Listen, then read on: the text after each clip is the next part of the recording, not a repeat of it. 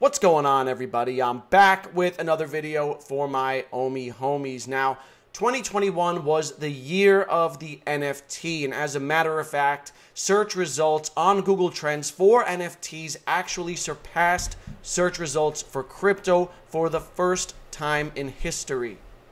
We also know that VeVe's user base and NFTs saw tremendous growth over the last year. Now, whether you are an OG who got in on day one and you're already sitting on a vault of collectibles that is multiplied in value, or if you're someone who's brand new to VeVe, like the tens of thousands of people who are just now downloading the VeVe app, I do believe that we are early and the biggest gains have yet to come. In this video, I'll be talking about why I believe we are just at the beginning of this, where I believe VeVe NFTs may be headed, and I'll also be comparing VeVe NFTs to some other well known projects. So stick around.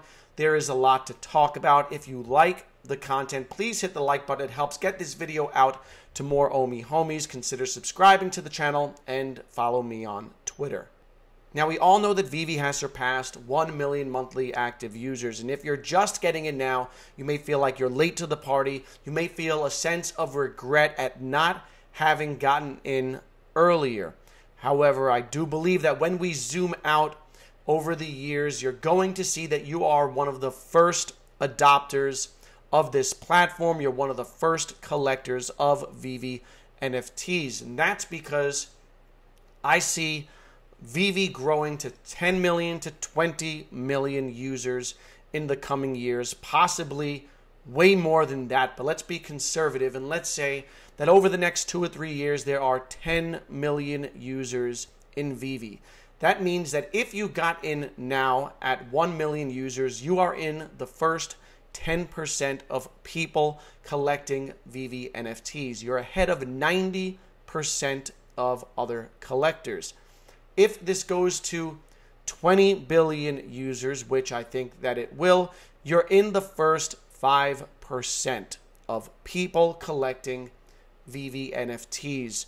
And if this thing totally blows up and gets to something like 100 million users, you're in the top 1%. Now, consider that Pokemon Go has 166 million downloads, and 100 million may seem like a lot, but it is achievable considering the IP, the licenses, and the brands that VeVe already has under its belt and the ones that it has yet to reveal. So if you are just getting in now and having a sense of regret, zoom out into the future and realize that you are one of the early adopters of VeVe. And the way I like to think about it is by looking at other investments that people thought they were too late for. Here is a chart of Ethereum. Now, Ethereum had a major run up, and when it got to this point, there were people who thought that they were late. They thought that they missed an opportunity, but they were wrong. And when you zoom out, you see that Ethereum was just getting started. And Ethereum had another explosion in growth. And again, people thought they were too late. They thought that they missed the boat. But again, they were wrong. Because when you continue zooming out, you see the continued growth of the project. Of course, it's easier to see these things in hindsight, but we have to look ahead and see the potential for future growth.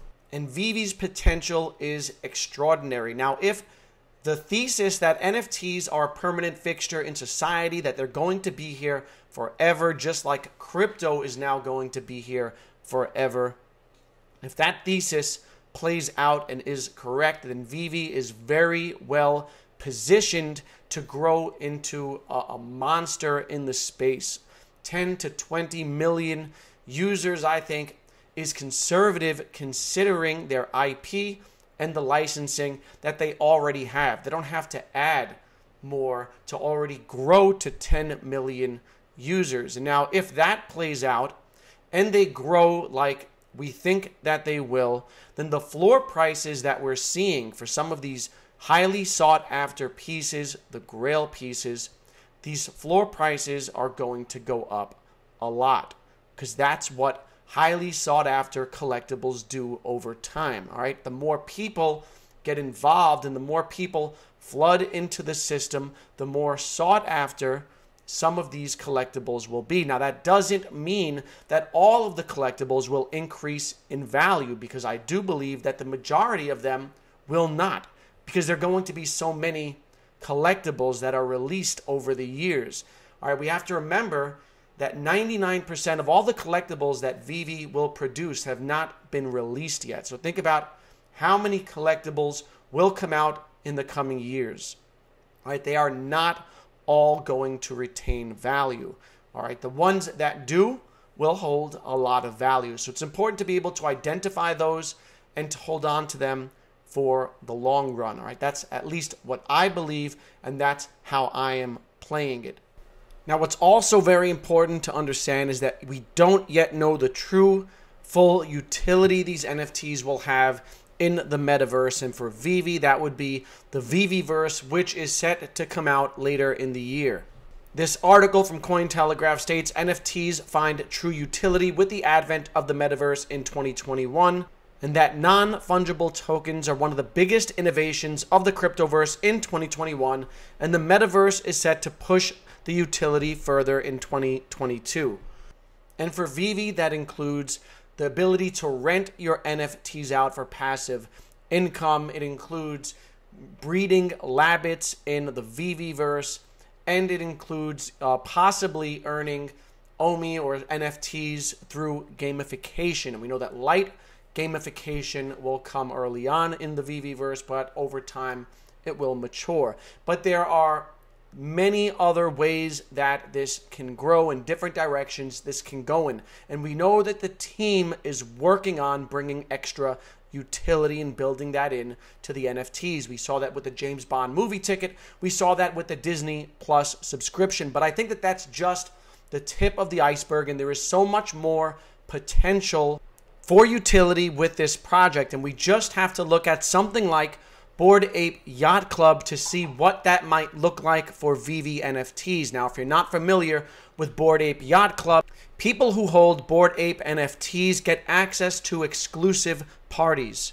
Now, this type of utility would work particularly well with the, now, this type of utility would work particularly well with Disney's Golden Moments, specifically the Partners statue. Imagine if Disney enabled people who hold the partners statue to have special access to you know special Disney events, exclusive Disney events. What might that do to the price of the partners statue and how might that benefit Disney? Well, first it would give them tremendous exposure, but Disney also gets a kickback on every sale in the secondary market. So every time a Disney IP or licensed NFT is sold in the secondary market in VeVe, Disney gets a kickback. I believe it's 8%. Now, that kickback will get bigger and bigger as the price goes up.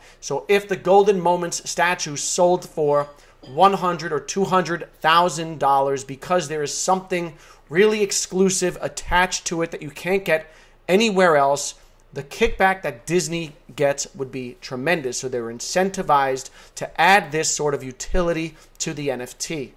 Now, we don't know for sure that this type of utility is coming to VeVe NFTs, but we do know that the team is actively looking to integrate utility in new ways. And we know that this utility works. We know that people are willing to pay for scarcity, they're willing to pay for stature, they're willing to pay for exclusivity. This is why people have joined country clubs and yacht clubs for years, all right, country clubs that they never went to, just to say that they were a member, all right, to be part of something that is exclusive. We're seeing the same thing play out online, except now it's not a yacht club out somewhere on the island, it's an, a digital yacht club that offers exclusive parties, all right? So if they attached exclusive events to VeVe NFTs, I think it would further drive demand.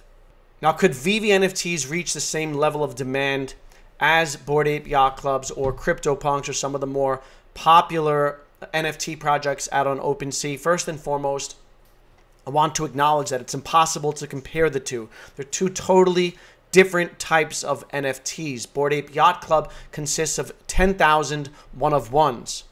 But I do think that it's interesting to look at, but I do think it's important to look at the overall market caps of some of these projects and compare them to VeVe's, if for nothing else to, than to give it context. So as of the time of this recording, Bored Ape Yacht Club has a floor price of approximately $260,000.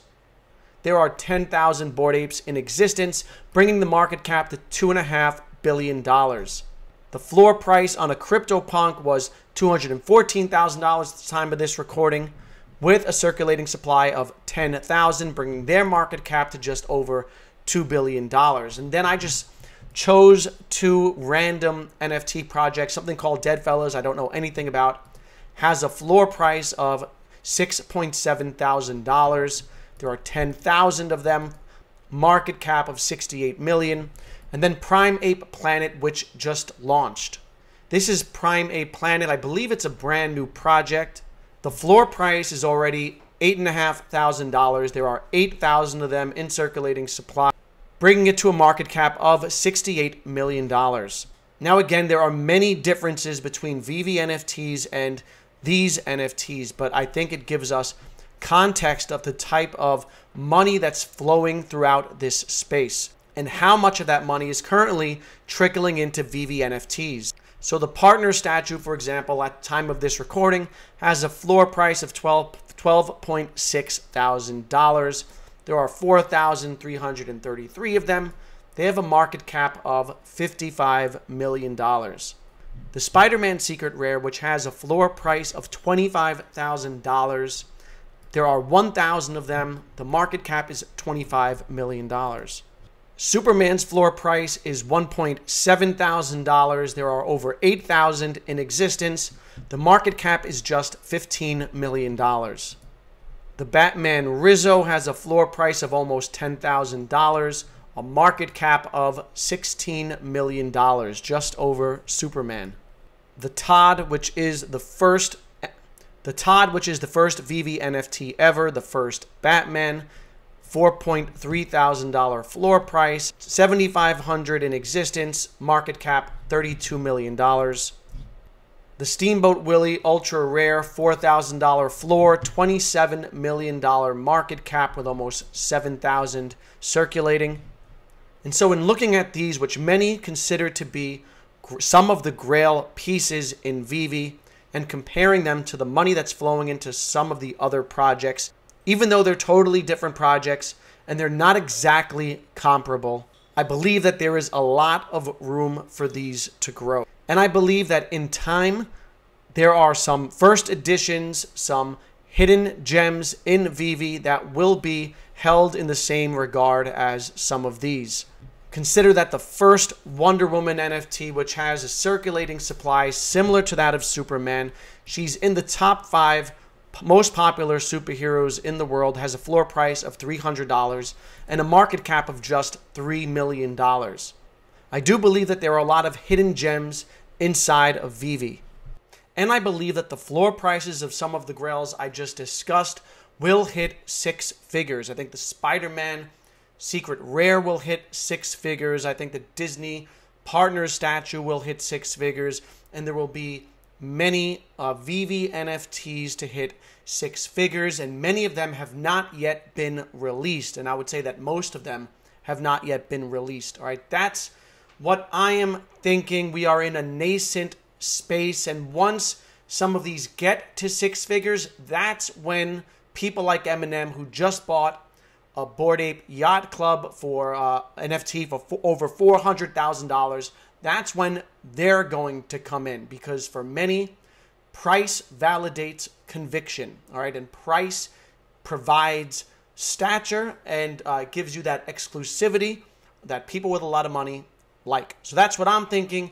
Let me know what you're thinking down in the comments below. Where do you see some of these NFTs headed in the year 2022? Are we indeed early? Comment below. Follow me on Twitter. Twitter handle is linked below and hit, hit that like button if you enjoy the content and consider subscribing to the channel. I hope you all enjoy the week that's ahead of you as always, stay happy, stay healthy, and stay safe. I will see you in the next video.